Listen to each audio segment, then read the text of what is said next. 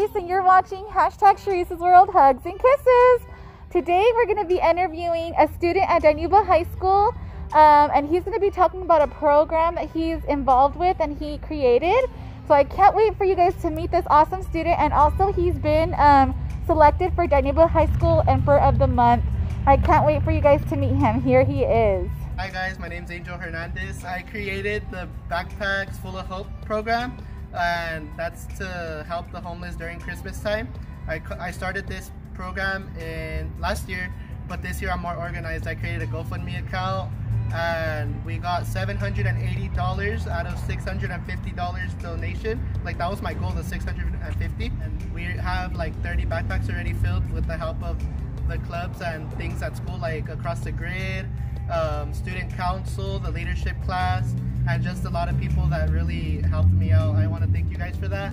Um, our distribution is going to be Christmas Eve at 4 p.m. next to the Family Market in Dinuba on College Avenue, and we hope to have help a lot of people. Donate by going to the link in the description down below.